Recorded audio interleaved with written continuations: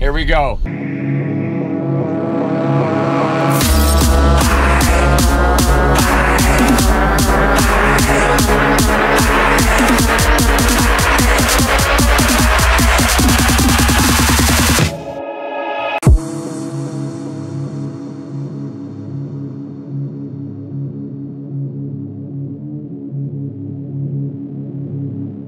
Uh, so katanas were introduced two years ago. Awesome lightweight binding. Um, so it still has those properties, but now it has a new ankle strap and a new toe strap. The ankle strap is the ultralight ankle strap. It's injected EVA.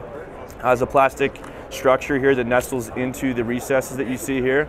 Um, that's going to provide the support, and then you're going to have that conformability and that comfort level from the injected EVA.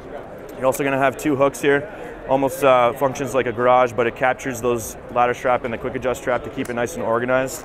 Um, the strap is very lightweight, like the rest of the binding. Um, and then one thing that we like to talk about here is the uh, pivot mount. So Katana features this. It also is featured on the Targa this year. Uh, but the pivot mount, you can ride it right out of the box like this. You can also loosen up the screw, crank it up or crank it down. If you have it up in position, it's going to provide more support.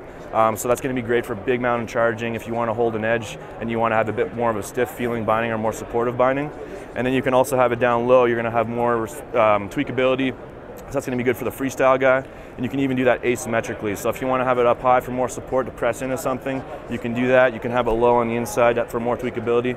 This binding has a lot of customization. Um, you know, with the pivot mount, uh, forward lean adjustment, you can really crank that up and get more support into your, or more response into your heel edge.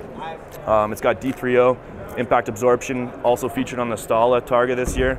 Um, and then we have the removable footbed um, and as well as V-rods. So we have contact points here closer to the board, a little bit more dense. You're going to have that toe and heel response, and you're going to have side-to-side flex uh, with the V-rod technology.